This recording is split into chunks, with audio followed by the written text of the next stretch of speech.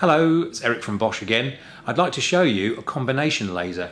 It's the GCL25 Professional and it combines a cross laser with a five point laser. It has the usual self-leveling function uh, that our previous models have and uh, the switch on the side here which some may say is, is a bit on the clunky side is that way for a reason because it actually locks the pendulum, the self-leveling um, mechanism when it's in transit so the, the product stays um, calibrated and, and accurate uh, for longer than those that uh, allow that assembly to flap around a bit. So if I switch it on, just to remind you, uh, the, uh, the, the, points, there are five points. There's a, a floor to ceiling transfer. You've got a point on the floor there which is directly uh, below the, the, the, point on the ceiling. That is a plumb beam, it's for checking things are plumb and for transferring from floor to ceiling or vice versa.